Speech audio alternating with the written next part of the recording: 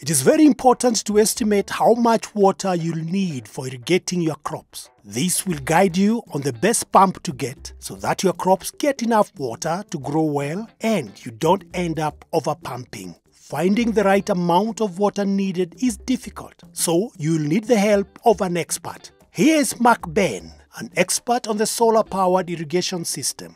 There are scientific ways to go about it. There are tools which are available, including the GIZ SPIS toolbox, readily available online, and of course, engaging experts who can assist you to determine the crop water requirement. Extension services or local experts can do the exact calculation. Here's what they look at to work out the amount of water needed.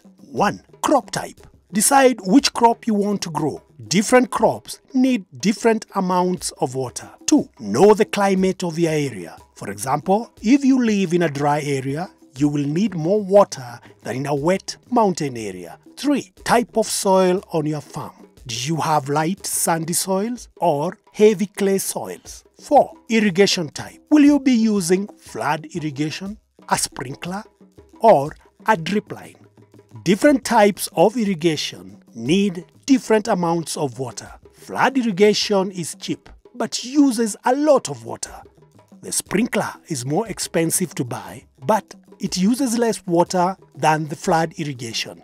But what we recommend ideally is a drip line system. And this is because of all the advantages associated with such a system, mainly uh, efficiency in water usage.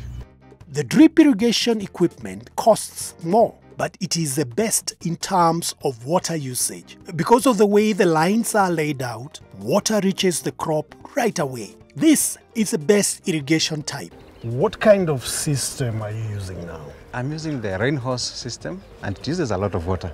And I can see the system is talking about uh, minimizes the cost and even the, the wastage of water because of the drip system. Next, the amount of water needed will also depend on the type of soil you have. With light and sandy soils, you will need to irrigate often using little water. With heavy clay soils, you will need to irrigate less often but using more water. You should also avoid runoff of water on the farm and make sure water does not collect. It is best to irrigate in the morning hours when the sun is low and the soil is not heated up. This way, the water won't evaporate as quickly as when the soil is hot. That is why it's a good idea to get a water tank where the pumped water can be stored while it is sunny and used in the morning.